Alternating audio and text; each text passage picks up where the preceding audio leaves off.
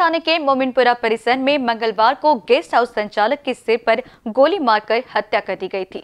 इस मामले में पुलिस ने तीनों आरोपियों को गिरफ़्तार कर लिया है। मामले में मुख्य आरोपी मोहम्मद परवेज के साथ मृतक के अनबन हुई थी, जिसके बाद आरोपी ने अपने दो दोस्तों के साथ मिलकर इस घटना को अंजाम दिया है। मामले में सूत्रों ऐसी मिली जानकारी के अनुसार आरोपी मोहम्मद परवेज के पिता कुछ दिन पूर्व मृतक ऐसी मिलने गए थे, जहाँ उनके साथ अनबन हुई थी, जिसका बदला लेने के लिए आरोपी ने इस घटना को अंजाम देने की बात सामने आई है।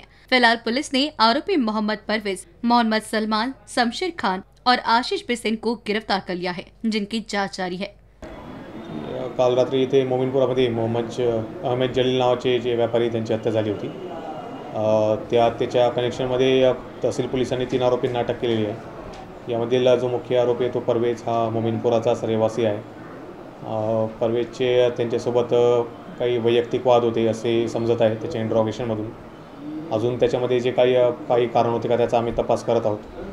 याच्यासोबत परवेजचे दोन मित्र आहेत सलमान आणि आशिष नावाचे. ते पण याच्यामध्ये सहभागी होते.